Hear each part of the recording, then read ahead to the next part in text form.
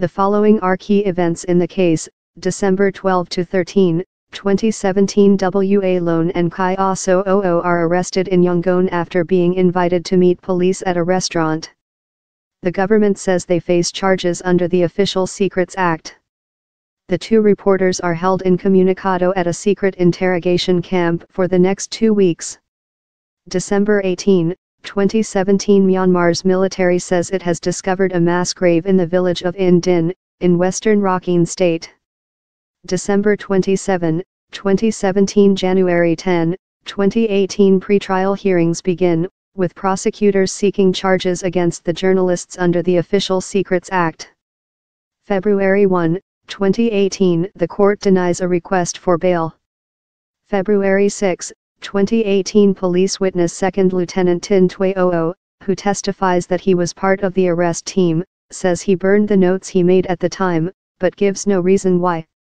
February 8, 2018 February 11, 2018 February 28, 2018 A civilian witness for the prosecution reads from notes on his hand when asked about the location of the journalist's arrests.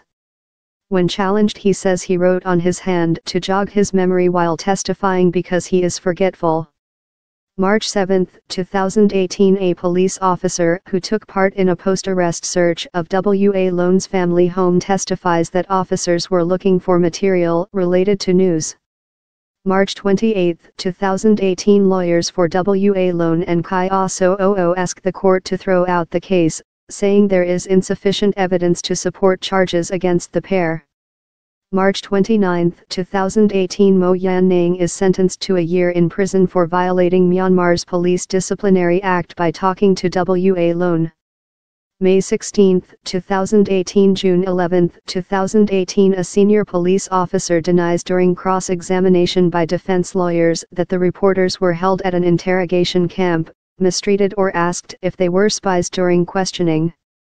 Afterwards, Wa Lone and Kyaw Soe Oo dispute this account, saying they were handcuffed and questioned every two hours by different officers for about three days during their two-week detention period at the Ong Police Special Branch Interrogation Center.